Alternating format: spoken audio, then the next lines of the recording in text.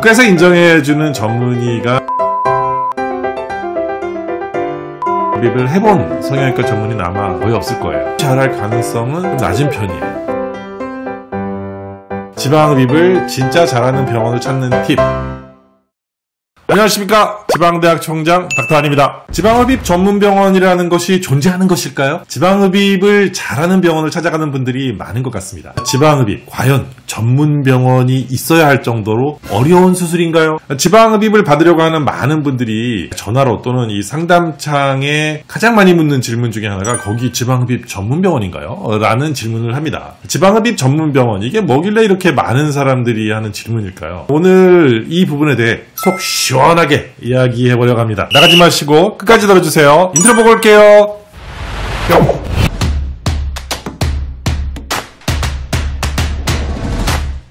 지방흡입 전문이라는 것이 존재할까요? 아니요.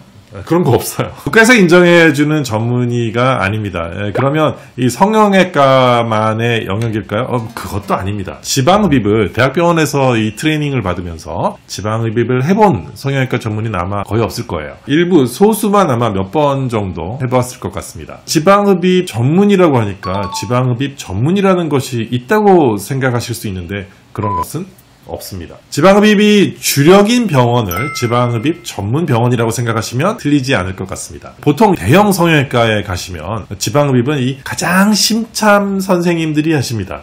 눈, 코, 가슴 수술 뭐 이런 모두를 하는데 왜 지방흡입은 신참 선생님들이 하는 경우가 많을까요? 쉬우니까?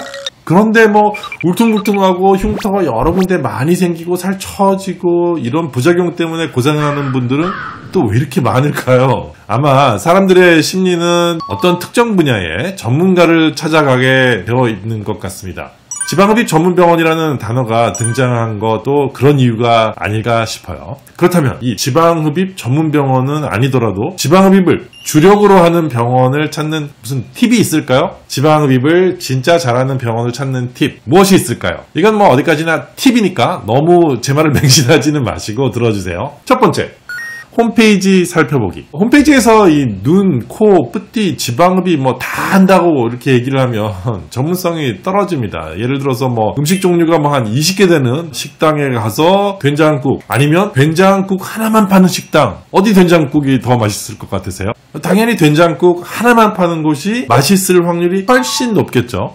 두 번째, 결과물을 많이 보는 방법. 지방흡입에 대한 전후 사진들을 보면 포토샵이 굉장히 많이 되어 있는 그런 사진들이 굉장히 많은 것 같아요. 거의 비현실적으로 전과 후를 이렇게 잘 정리해서 만들어 놓은 사진들을 많이 보게 되는데요. 영상은 그렇게 하는 것이 사실 쉽지가 않죠. 그렇기 때문에 영상을 참고하시면 훨씬 더 결과에 대한 확신을 가지실 수 있을 것 같습니다. 저희 병원에서 한 결과들도 이렇게 어, 들어가서 보시면 영상들이 있으니까 한번 보시고요. 전문병원이라면 뭔가 이렇게 특별함이 있어야 합니다. 뭐한 가지를 이렇게 오래 하다 보면 비슷한 것 같지만 뭔가 특별함이 있게 되어 있어요. 눈도 하고 코도 하고 가슴도 보형물 집어넣고 안면 윤곽 이렇게 많은 종류의 굉장히 다른 수술들을 하는 병원이라면 지방흡입을 아주 잘할 가능성은 낮은 편이에요. 수술 전 처치, 수술 후 처치, 뭐 수술 방법, 또 드레싱을 하는 방법이 점점 발전하게 되죠. 흉터를 최소화하고 디자인에 섬세함이 있어야 합니다. 이런 모습을 여러분이 다 알아차릴 수는 없겠지만 전문 병원들의 그 홈페이지는 이런 내용을 어느 정도 담고 있어요. 여러분들이 자세히 보시면 이런 내용들을 어느 정도 알아차릴 수 있을 거라고 생각이 돼요. 아, 뭐 저희 리디안의 경우에는 흉터를 최소화하기 위해서 복부 지방흡입의 경우에 안에다가 흉터를 내요. 음모에 하나 가지고 전면을 전부 다 후면 같은 경우도 꼬리뼈 위에 하나 가지고 옆구리, 등, 엉덩이, 허벅지, 후면 전부 다를 할 수 있고 뭐 이런 특별함이 있거든요. 아, 다른 부위들의 지방 흡입을 할 때도 흉터를 최소화하면서 최대한 지방을 흡입해서 근육의 모양을 살려서